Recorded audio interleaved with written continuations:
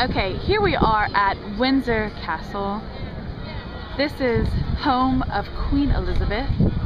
You can see the flag is up, meaning she is actually home.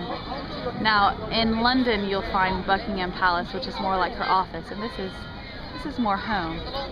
So I'm here with Esther, my old flatmate from Amersham. Hi! so, you know, what do you think we'll do with our afternoon? Um, I think we're just gonna, as soon as she's home, pop in, say hi, have a little bit of um, afternoon tea. yeah, you know. maybe some tea and crumpets. Tea and crumpets, tea and cakes, maybe.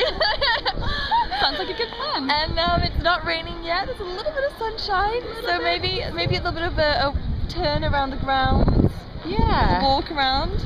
And then, you know, we have these lovely, the lovely town of Windsor to check out later.